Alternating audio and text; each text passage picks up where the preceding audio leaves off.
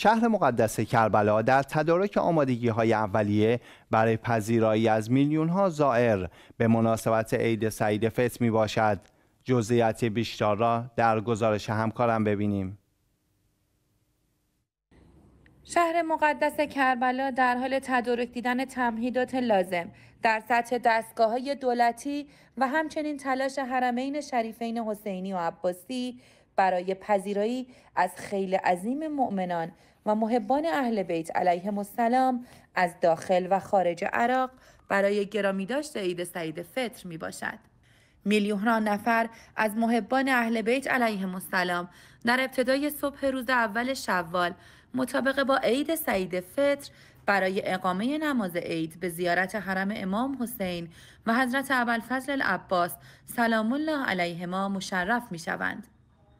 مقام های دولتی در شهر مقدس کربلا اعلام نمودند که آمادگی کامل برای پذیرایی از انبوه زائران و ارائه خدمات لازم به آنها را علاوه بر آمادگی کامل در تأمین امنیت و سلامت آنان دارند.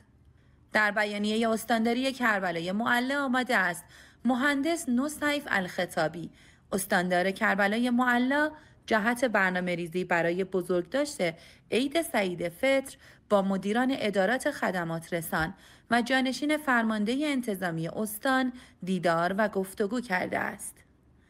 در ادامه بیانیه تاکید شده که استاندار کربلا در این دیدارها برنامه های تدوین شده توسط نهادهای امنیتی و خدماتی را بررسی و بر ارائه فضای امن و خدمات لازم به تمامی زائران محترم تأکید نموده است.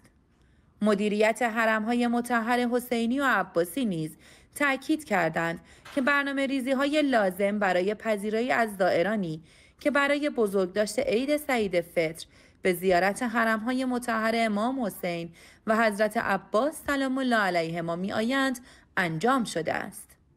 گفتنی است شهر مقدس کربلا در صبح روز عید سعید فطر شاهد حضور گسترده انبوه زائران برای زیارت قبور عزیزانشان در قبرستان وادی السلام این شهر خواهد بود.